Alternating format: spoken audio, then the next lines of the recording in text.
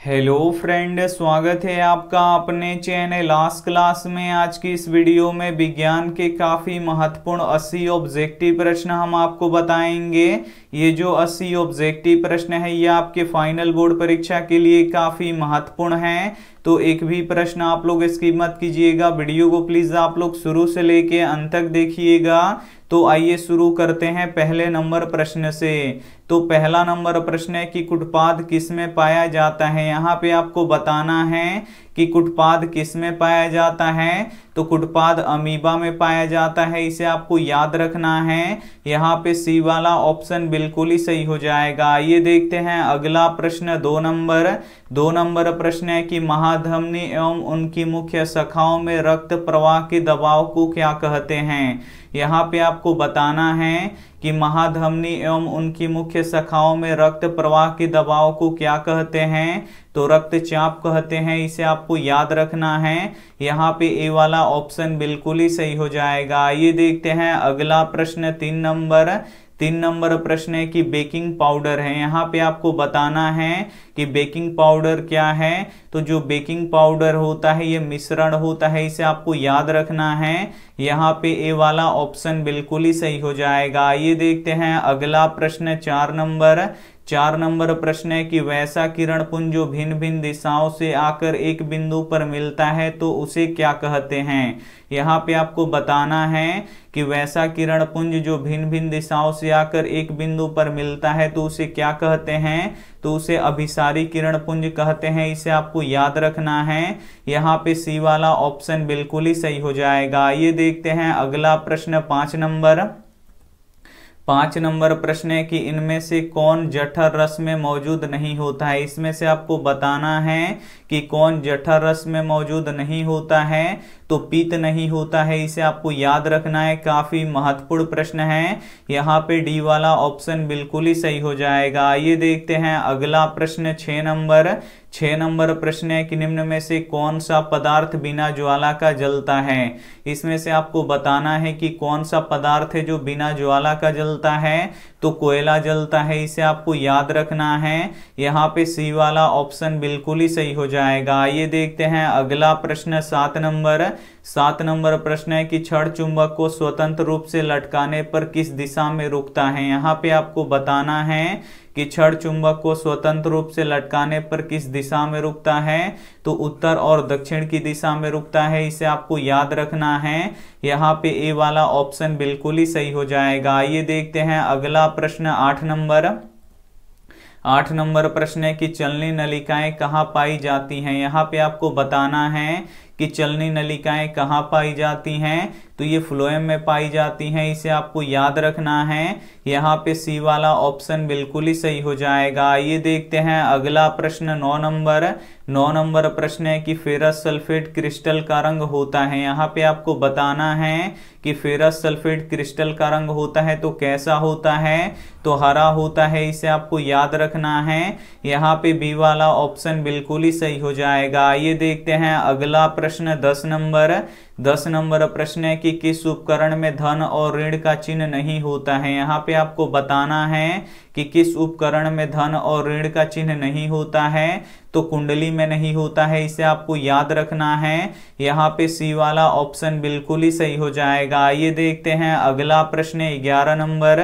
ग्यारह नंबर प्रश्न है कि फाइब्रोनोजिन रहित प्लाज्मा को कहते हैं। यहाँ पे आपको बताना है कि फाइब्रोनोजिन रहित प्लाज्मा को कहते हैं तो सीरम कहते हैं, इसे आपको याद रखना है। यहाँ पे ए वाला ऑप्शन बिल्कुल ही सही हो जाएगा। ये देखते हैं अगला प्रश्न, बारह नंबर। बारह नंबर प्रश्न है कि जल में घुलनशील भस्म को क्या कहते हैं? यहाँ पे आपको बताना है कि जल में घुलनशील भस्म को क्या कहते हैं? तो क्षार कहते हैं, इसे आपको याद रखना है। यहाँ पे बी वाला ऑप्शन बिल्कुल ही सही हो जाएगा। ये देखते हैं अगला प्रश्न, तेरह नंबर। तेरह नंबर प्रश्न है कि किस अम्ल के जमाव के कारण मांसपेशियों में थकावट या दर्द का अनुभव होता है? काफ़ी महत्वपूर्ण प्रश्न है ये आपके बोर्ड परीक्षा के लिए। यहाँ पे आपको बताना है कि किस अम्ल के जमाव के कारण मांसपेशियों में थकावट या दर्द का अनुभव होता है। तो लैक्टिक अम्ल के कारण से होता है, इसे आपको याद रखना है। यहाँ पे ए वाला ऑप्शन बिल्कुल ही सही हो जाएगा। ये देखते हैं अगला प्रश्न, चौदह नंबर।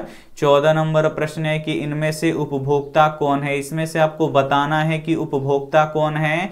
तो आम, घास, कवक, ये सभी उत्पादक होते हैं, लेकिन जो हिरण होता है, ये क्या होता है? उपभोक्ता होता है। यहाँ पे ए वाला ऑप्शन बिल्कुल ही सही हो जाएगा। ये देखते हैं अगला प्रश्न, पंद्रह नंबर। पंद्रह नंबर प्रश्न है कि सोडियम सल्फेट का जलीय विलयन होता है। काफ़ी महत्वपूर्ण प्रश्न है यह आपके बोर्ड परीक्षा के लिए। यहाँ पे आपको बताना है कि सोडियम सल्फेट का जलीय विलयन होता है तो जलीय विलयन उदासीन होता है, इसे आपको याद रखना है। यहाँ पे ए वाला ऑप्शन बिल्कुल ही सही हो जाएगा। आइए देखते हैं अगला प्रश्न 16 नंबर। 16 नंबर प्रश्न है कि ग्रेफाइड होता है। यहाँ पे आपको बताना है कि जो ग्रेफाइड होता है, ये कैसा होता है? तो ये विद्युत का सुचालक होता है, इसे आपको याद रखना है। यहाँ पे ए वाला ऑप्शन बिल्कुल ही सही हो जाएगा। ये देखते हैं अगला प्रश्न, सत्रह नंबर। सत्रह नंबर प्रश्न है कि मनुष्यों का प्रमुख उत्सर्जी अंग कौन सा है? इसमें से आपको बताना है कि मनुष्यों का प्रमुख उत्सर्जी अंग कौन सा है? तो वृक जिसे हम किडनी भी बोलते हैं, यहाँ पे सी वाला ऑप्शन बिल्कुल ही सही हो जाएगा। ये देखते हैं अगला प्रश्न 18 नंबर। 18 नंबर प्रश्न है कि पोटेशियम की परमाणु संख्या क्या होता है? यहाँ पे आपको बताना है कि पोटेशियम का परमाणु संख्या कितना होता है तो 19 होता है, इसे आपको याद रखना है। यहाँ पे ए वाला ऑप्शन बिल्कुल ही सही हो जाएगा। एक भी प्रश्न आप लोग स्किप मत कीजिएगा। वीडियो को प्लीज़ आप लोग शुरू से लेके अंत तक ज़रूर देखिएगा। इस वीडियो में काफ़ी महत्वपूर्ण अस्सी ऑब्जेक्टिव प्रश्न हम आपको बताने वाले हैं। तो वीडियो को प्लीज़ आप लोग शुरू से लेके अंत तक ज़रूर देखिएगा। ये देखते हैं अगला प्रश्न, उन्नीस नंबर। उन्नीस नंबर प्रश्न है कि शुद्ध जल कैसा होता है? यहाँ पे आपको बताना है कि जो शुद्ध जल होता है, ये कैसा होता है? तो शुद्ध जल उदासीन होता है। यहाँ पे सी वाला ऑप्शन बिल्कुल ही सही हो जाएगा। ये देखते हैं अगला प्रश्न, बीस नंबर। बीस नंबर प्रश्न है कि वन संपदा का एक उदाहरण है। यहाँ पे आपको बताना है कि वन संपदा का एक उदाहरण है। तो लकड़ी है, इसे आपको याद रखना है। यहाँ पे सी वाला ऑप्शन बिल्कुल ही सही हो जाएगा। ये देखते हैं अगला प्रश्न, इक्कीस नंबर। इक्कीस नंबर प्रश्न है कि सोडियम की संयोजकता क्या है? यहाँ पे आपको बताना है कि सोडियम की संयोजकता कितनी होती है? तो जो सोडियम होता है, इसका परमाणु संख्या 11 होता है तो इसका संयोजकता कितना होगा? तो अंतिम कक्षा में जितने इलेक्ट्रॉन होते हैं, वही संयोजकता होता है। तो अंतिम कक्षा में कितने इलेक्ट्रॉन है? एक इलेक्ट्रॉन है। तो सोडियम की संयोजकता कितनी होगी? एक होगी। तो यहाँ पे ए वाला ऑप्शन बिल्कुल ही सही हो जाएगा। ये देखते हैं अगला प्रश्न, बाईस नंबर। बाईस नंबर प्रश्न है कि निषेचन के बाद युग्मजन विभाजित होकर बनता है, काफ़ी महत्वपूर्ण प्रश्न है। यहाँ पे आपको बताना है कि निषेचन के बाद युग्मजन विभाजित होकर बनता है तो क्या बनता है? तो भ्रूण बनता है, इसे आपको याद रखना है। यहाँ पे डी वाला ऑप्शन बिल्कुल ही सही हो जाएगा। आइए देखते हैं अगला प्रश्न, तेईस नंबर। तेईस नंबर प्रश्न है कि निम्न में से कौन अजैव निम्न करणीय कचड़ा है? इसमें से आपको बताना है कि कौन अजैव निम्न करणीय कचड़ा है? यानी जो सड़ता गलता नहीं है तो थर्मोकॉल है, इसे आपको याद रखना है। यहाँ पे सी वाला ऑप्शन बिल्कुल ही सही हो जाएगा। ये देखते हैं अगला प्रश्न, चौबीस नंबर। चौबीस नंबर प्रश्न है कि धातुओं को जोड़ने में प्रयुक्त गैस है। यहाँ पे आपको बताना है कि धातुओं को जोड़ने में किस गैस का उपयोग करते हैं तो एथाइन का उपयोग करते हैं, इसे आपको याद रखना है। यहाँ पे सी वाला ऑप्शन बिल्कुल ही सही हो जाएगा। ये देखते हैं अगला प्रश्न 25 नंबर। 25 नंबर प्रश्न है कि जिसमें धातु और अधातु दोनों के गुण पाए जाते हैं तो उसे क्या कहते हैं? यहाँ पे आपको बताना है कि जिसमें धातु और अधातु दोनों के गुण पाए जाते हैं, उसे क्या कहते हैं? तो उसे उपधातु कहते हैं। यहाँ पे सी वाला ऑप्शन बिल्कुल ही सही हो जाएगा। ये देखते हैं अगला प्रश्न 26 नंबर। 26 नंबर प्रश्न है कि अधिकतम ऊर्जा किस स्तर पर रहती है? यहाँ पे आपको बताना है कि अधिकतम ऊर्जा किस स्तर पर रहती है तो उत्पादक के स्तर पर रहती है, इसे आपको याद रखना है। यहाँ पे ए वाला ऑप्शन बिल्कुल ही सही हो जाएगा। आइए देखते हैं अगला प्रश्न 27 नंबर।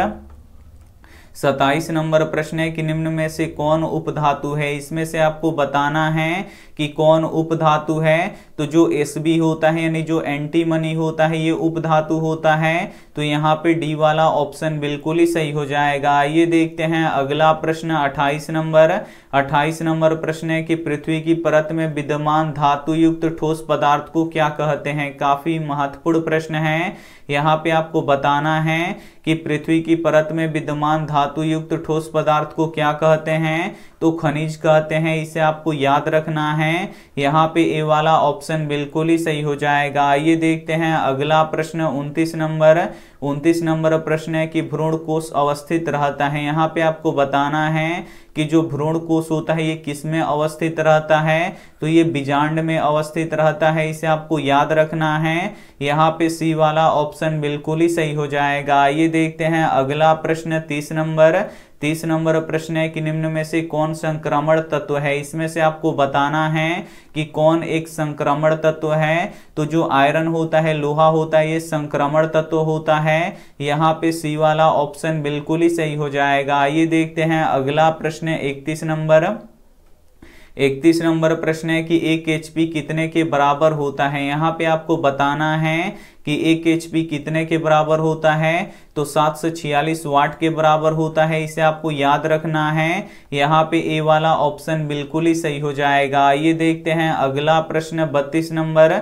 बत्तीस नंबर प्रश्न है कि रक्त लाल किस कारण से दिखाई देता है? यहाँ पे आपको बताना है कि रक्त लाल किस कारण से दिखाई देता है। तो ये हीमोग्लोबिन के कारण से दिखाई देता है। इसे आपको याद रखना है। यहाँ पे बी वाला ऑप्शन बिल्कुल ही सही हो जाएगा। ये देखते हैं अगला प्रश्न तैतीस नंबर तैतीस नंबर प्रश्न है कि विलासक शीशा यानी मैग्नीफाइंग ग्लास निम्न में से कौन सा है? तो यहाँ पे देखिए विलासक शीशा जिसे हम मैग्नीफाइंग ग्लास भी बोलते हैं, ये कौन होता है? तो ये उत्तल लेंस होता है, इसे आपको याद रखना है। यहाँ पे बी वाला ऑप्शन बिल्कुल ही सही हो जाएगा। ये देखते हैं, अगला प्रश्न, चौतीस नंबर चौतीस नंबर प्रश्न है कि साधारण नमक का रासायनिक नाम क्या होता है? यहाँ पे आपको बताना है कि साधारण नमक का रासायनिक नाम क्या होता है? तो सोडियम क्लोराइड होता है, इसे आपको याद रखना है। यहाँ पे बी वाला ऑप्शन बिल्कुल ही सही हो जाएगा। ये देखते हैं अगला प्रश्न, पैंतीस नंबर।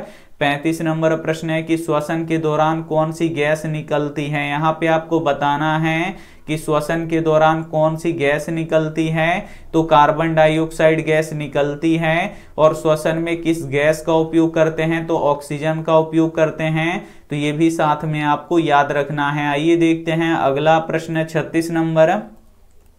छत्तीस नंबर प्रश्न है कि तरंग दैर्घ्य को किसमें मापते हैं? यहाँ पे आपको बताना है कि तरंग दैर्घ्य को किसमें मापते हैं? तो तरंग दैर्घ्य को एंगेस्ट्रोम में मापते हैं। यहाँ पे बी वाला ऑप्शन बिल्कुल ही सही हो जाएगा। ये देखते हैं अगला प्रश्न, सैंतीस नंबर। सैतीस नंबर प्रश्न है कि अपमार्जक से बनाए जाते हैं। यहाँ पे आपको बताना है कि अपमार्जक से बनाए जाते हैं तो सर्फ एक्सल भी बनता है, शैम्पू भी बनता है इजी सरफ भी बनता है, यानी इनमें से सभी बनता है तो यहाँ पे डी वाला ऑप्शन बिल्कुल ही सही हो जाएगा। ये देखते हैं अगला प्रश्न, अड़तीस नंबर। अड़तीस नंबर प्रश्न है कि आवृत्ति का ऐसा ही मात्रक क्या होता है? यहाँ पे आपको बताना है कि आवृत्ति का ऐसा ही मात्रक क्या होता है? तो आवृत्ति का ऐसा ही मात्रक हर्ज होता है, इसे आपको याद रखना है। यहाँ पे ए वाला ऑप्शन बिल्कुल ही सही हो जाएगा। आइए देखते हैं अगला प्रश्न, उनतालीस नंबर। उनतालीस नंबर प्रश्न है कि जठरस का पीएच मान कितना होता है? यहाँ पे आपको बताना है कि जठरस का पीएच मान कितना होता है। तो जठरस का पीएच मान एक दशमलव दो होता है। यहाँ पे ए वाला ऑप्शन बिल्कुल ही सही हो जाएगा। ये देखते हैं अगला प्रश्न, चालीस नंबर। चालीस नंबर प्रश्न है कि मछली का श्वसन होता है। यहाँ पे आपको बताना है कि मछली का श्वसन होता है तो मछली का श्वसन जल में घुले ऑक्सीजन से होता है, इसे आपको याद रखना है। यहाँ पे ये वाला ऑप्शन बिल्कुल ही सही हो जाएगा। ये देखते हैं अगला प्रश्न है इकतालीस नंबर। इकतालीस नंबर प्रश्न है कि इंद्रधनुष में कितना रंग दिखाई देता है? यहाँ पे आपको बताना है कि इंद्रधनुष में कितना रंग दिखाई देता है। तो इंद्रधनुष में सात रंग दिखाई देता है। यहाँ पे बी वाला ऑप्शन बिल्कुल ही सही हो जाएगा। ये देखते हैं अगला प्रश्न, बयालीस नंबर। बयालीस नंबर प्रश्न है कि तंत्रिका कोशिका क्या कहलाती है? यहाँ पे आपको बताना है कि तंत्रिका कोशिका क्या कहलाती है। तो न्यूरॉन कहलाती है, इसे आपको याद रखना है। यहाँ पे बी वाला ऑप्शन बिल्कुल ही सही हो जाएगा। आइए देखते हैं अगला प्रश्न, तिरालीस नंबर। तिरालीस नंबर प्रश्न है कि उदासीनीकरण क्रिया में क्या बनता है? यहाँ पे आपको बताना है कि उदासीनीकरण की क्रिया में क्या बनता है? तो लवण एवं जल बनता है, इसे आपको याद रखना है। यहाँ पे डी वाला ऑप्शन बिल्कुल ही सही हो जाएगा। ये देखते हैं अगला प्रश्न, चौवालीस नंबर। चौवालीस नंबर प्रश्न है कि अम्ल वे पदार्थ है जो जल में घुलकर देते हैं। यहाँ पे आपको बताना है कि अम्ल वे पदार्थ है जो जल में घुलकर देते हैं तो H प्लस आयन देते हैं। इसे आपको याद रखना है। यहाँ पे ए वाला ऑप्शन बिल्कुल ही सही हो जाएगा। आइए देखते हैं अगला प्रश्न, पैंतालीस नंबर। पैंतालीस नंबर प्रश्न है कि जंग लगने पर लोहा का भार। यहाँ पे आपको बताना है कि जंग लगने पर लोहे के भार में क्या होता है? तो लोहा का भार बढ़ता है, इसे आपको याद रखना है। यहाँ पे ए वाला ऑप्शन बिल्कुल ही सही हो जाएगा। ये देखते हैं अगला प्रश्न है छियालीस नंबर। छियालीस नंबर प्रश्न है कि गोलीय दर्पण की वक्रता त्रिज्या 40 सेंटीमीटर हो तो उसकी फोकस दूरी ज्ञात करें। यहाँ पे गोलीय दर्पण की वक्रता त्रिज्या 40 सेंटीमीटर दिया है तो इसकी फोकस दूरी ज्ञात करना है। तो जो फोकस दूरी होता है, ये वक्रता त्रिज्या की आधी होती है तो 40 का आधा कितना होगा? 20 सेंटीमीटर होगा। तो यहाँ पे देखिए, फोकस दूरी कितना होगा हमारा? 20 सेंटीमीटर होगा। यहाँ पे सी वाला ऑप्शन बिल्कुल ही सही हो जाएगा। ये देखते हैं अगला प्रश्न है सैतालीस नंबर। सैतालीस नंबर प्रश्न है कि कार की बैटरी में कौन सा अम्ल का प्रयोग किया जाता है? यहाँ पे आपको बताना है कि कार की बैटरी में कौन सा अम्ल का प्रयोग किया जाता है। तो सल्फ्यूरिक अम्ल का प्रयोग किया जाता है, इसे आपको याद रखना है। यहाँ पे बी वाला ऑप्शन बिल्कुल ही सही हो जाएगा। आइए देखते हैं अगला प्रश्न 48 नंबर। 48 नंबर प्रश्न है कि विद्युत चुंबक किसका बना होता है? यहाँ पे आपको बताना है कि विद्युत चुंबक किसका बना होता है? तो जो विद्युत चुंबक होता है, ये नरम लोहा का बना होता है, इसे आपको याद रखना है। यहाँ पे बी वाला ऑप्शन बिल्कुल ही सही हो जाएगा। आइए देखते हैं अगला प्रश्न, उनचास नंबर। उनचास नंबर प्रश्न है कि पीतरस कहाँ बनता है? यहाँ पे आपको बताना है कि पीतरस कहाँ बनता है। तो यकृत में बनता है, इसे आपको याद रखना है। यहाँ पे बी वाला ऑप्शन बिल्कुल ही सही हो जाएगा। ये देखते हैं अगला प्रश्न, पचास नंबर। पचास नंबर प्रश्न है कि जंगरोधी स्टील क्या है? यहाँ पे आपको बताना है कि जंगरोधी स्टील क्या है। तो ये एक मिश्र धातु है, इसे आपको याद रखना है। यहाँ पे डी वाला ऑप्शन बिल्कुल ही सही हो जाएगा। ये देखते हैं अगला प्रश्न, इक्यावन नंबर।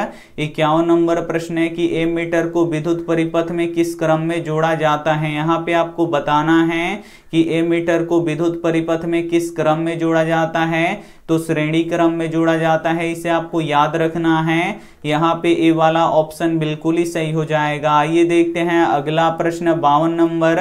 बावन नंबर प्रश्न है कि घेंगा किस समुदाय का प्राणी है? यहाँ पे आपको बताना है कि जो घेंगा होता है, ये किस समुदाय का प्राणी होता है? तो ये मोलसका का प्राणी होता है, इसे आपको याद रखना है। यहाँ पे ए वाला ऑप्शन बिल्कुल ही सही हो जाएगा। ये देखते हैं अगला प्रश्न, तिरपन नंबर।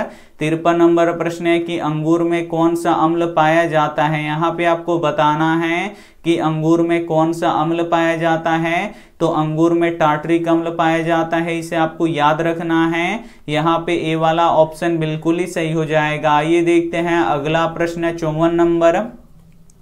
चौवन नंबर प्रश्न है कि भरतपुर पक्षी अभ्यारण कहाँ स्थित है? यहाँ पे आपको बताना है कि भरतपुर पक्षी अभ्यारण कहाँ स्थित है? तो ये राजस्थान में स्थित है, इसे आपको याद रखना है। यहाँ पे बी वाला ऑप्शन बिल्कुल ही सही हो जाएगा। आइए देखते हैं अगला प्रश्न, पचपन नंबर। पचपन नंबर प्रश्न है कि कौन सा रक्त समूह सबसे रक्त ले सकता है? यहाँ पे आपको बताना है कि कौन सा रक्त समूह सबसे रक्त ले सकता है तो ए बी ले सकता है। इसे आपको याद रखना है। यहाँ पे सी वाला ऑप्शन बिल्कुल ही सही हो जाएगा। ये देखते हैं अगला प्रश्न, छप्पन नंबर। छप्पन नंबर प्रश्न है कि मनुष्य के दांतों की सबसे ऊपरी परत क्या है? यहाँ पे आपको बताना है कि मनुष्य के दांतों की सबसे ऊपरी परत क्या है? तो इनामेल है, इसे आपको याद रखना है। यहाँ पे बी वाला ऑप्शन बिल्कुल ही सही हो जाएगा। आइए देखते हैं अगला प्रश्न संतावन नंबर। संतावन नंबर प्रश्न है कि ऑक्जेलिक अम्ल किसमें पाया जाता है? यहाँ पे आपको बताना है कि ऑक्जेलिक अम्ल किसमें पाया जाता है? तो ऑक्जेलिक अम्ल टमाटर में पाया जाता है। यहाँ पे बी वाला ऑप्शन बिल्कुल ही सही हो जाएगा। आइए देखते हैं अगला प्रश्न, अंठावन नंबर। अंठावन नंबर प्रश्न है कि इनमें से कौन ऑक्सीजन का वाहक है? इसमें से आपको बताना है कि कौन ऑक्सीजन का वाहक है। तो जो हीमोग्लोबिन होता है, ये ऑक्सीजन का वाहक होता है। यहाँ पे सी वाला ऑप्शन बिल्कुल ही सही हो जाएगा। आइए देखते हैं अगला प्रश्न, उनसठ नंबर। उनसठ नंबर प्रश्न है कि धातुओं में धारा वाहक होते हैं। यहाँ पे आपको बताना है कि धातुओं में धारावाहक होते हैं तो मुक्त इलेक्ट्रॉन होते हैं, इसे आपको याद रखना है। यहाँ पे बी वाला ऑप्शन बिल्कुल ही सही हो जाएगा। आइए देखते हैं अगला प्रश्न साठ नंबर। साठ नंबर प्रश्न है कि विद्युत में तार का रंग कैसा होता है? यहाँ पे आपको बताना है कि विद्युत में तार का रंग कैसा होता है। तो विद्युत में तार का रंग लाल होता है, इसे आपको याद रखना है। यहाँ पे डी वाला ऑप्शन बिल्कुल ही सही हो जाएगा। आइए देखते हैं अगला प्रश्न है, इकसठ नंबर। इकसठ नंबर प्रश्न है कि ब्रोमीन अधातु किस अवस्था में पाई जाती है? यहाँ पे आपको बताना है कि ब्रोमीन अधातु किस अवस्था में पाई जाती है? तो द्रव अवस्था में पाई जाती है। यहाँ पे बी वाला ऑप्शन बिल्कुल ही सही हो जाएगा। ये देखते हैं अगला प्रश्न, बासठ नंबर। बासठ नंबर प्रश्न है कि ओम के नियम में कौन अचर राशि है? यहाँ पे आपको बताना है कि ओम के नियम में कौन अचर राशि है। तो ताप अचर राशि है, इसे आपको याद रखना है। यहाँ पे बी वाला ऑप्शन बिल्कुल ही सही हो जाएगा। ये देखते हैं अगला प्रश्न, तिरसठ नंबर। तिरसठ नंबर प्रश्न है कि निम्न में से कौन सा उपकरण विद्युत धारा के उष्मीय प्रभाव पे कार्य करता है? इसमें से आपको बताना है कि वो कौन सा उपकरण है जो विद्युत धारा के उष्मीय प्रभाव पे कार्य करता है? तो विद्युत हीटर है, इसे आपको याद रखना है। यहाँ पे ए वाला ऑप्शन बिल्कुल ही सही हो जाएगा। ये देखते हैं अगला प्रश्न, चौसठ नंबर। चौसठ नंबर प्रश्न है कि प्राथमिक रंग कौन सा है? इसमें से आपको बताना है कि प्राथमिक रंग कौन सा है। तो लाल, नीला और हरा, ये तीनों प्राथमिक रंग है, इसे आपको याद रखना है। तो यहाँ पे डी वाला ऑप्शन बिल्कुल ही सही हो जाएगा। आइए देखते हैं अगला प्रश्न, पैंसठ नंबर। पैंसठ नंबर प्रश्न है कि कवक में पोषण की कौन सी विधि पाई जाती है? यहाँ पे आपको बताना है कि कवक में पोषण की कौन सी विधि पाई जाती है तो मृत जीवी पाई जाती है, इसे आपको याद रखना है। यहाँ पे बी वाला ऑप्शन बिल्कुल ही सही हो जाएगा। ये देखते हैं अगला प्रश्न, छियासठ नंबर।